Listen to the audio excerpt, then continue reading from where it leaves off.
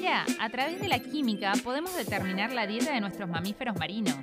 Las aguas subantárticas adyacentes a la isla grande de Tierra del Fuego constituyen una importante área de alimentación para muchos organismos. Entre ellos se destacan los mamíferos marinos, que conforman un grupo de depredadores muy diversos. Para comprender su rol dentro de las redes tróficas, es crucial contar con información de sus hábitos alimentarios. Aparte de la observación de animales alimentándose en la naturaleza y el análisis de sus heces y o contenidos estomacales, últimamente se han desarrollado nuevas técnicas como el análisis de isótopos estables. Este método permite evaluar cuáles son las presas mayormente consumidas y definir sus posiciones tróficas y sus áreas de distribución. Para esto es necesario medir las proporciones de los isótopos de carbono y nitrógeno en los tejidos de las presas isótopos más pesados, carbono 13 o nitrógeno 15, se acumulan en los tejidos del predador en cantidades más altas que en las de su presa.